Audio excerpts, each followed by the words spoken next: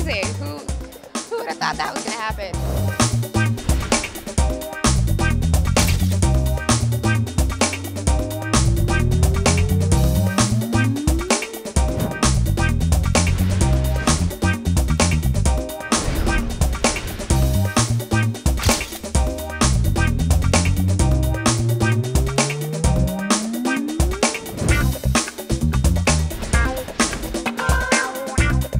Really just know what I like